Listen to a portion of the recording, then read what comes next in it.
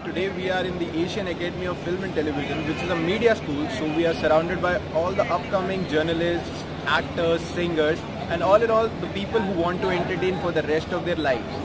And uh, one such thing famous in Delhi is theaters, which is not the one where you go and watch movies, but the one where the people who wish to become future superstars practice all day and all night long.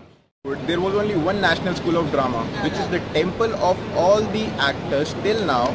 But since they accept only a handful of students, new institutions like AAFT and many theatre groups are growing inside and all around the city. So let's have a chat with one of the students of this institution.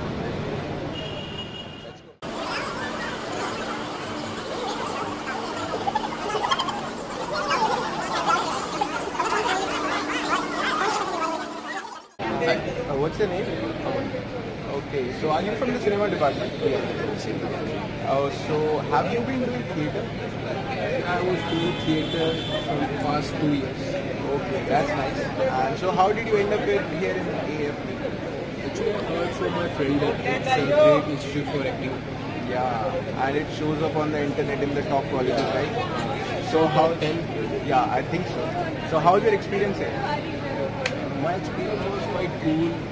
Personally, I like the way of teaching. Okay. Yeah, the faculty is really good, right? Most of the things are practical, so it's good for students. Okay. So you wish to be a great superstar? Eh?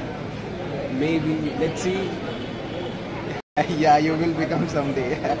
Thank you so much for your time Which is very close to theatre and if you wish to join this institute, you just come to Noida Film City, Sector 16 और मैं हूँ प्रशांत Kapoor camera person Ramneet Kaur टिल्लों के साथ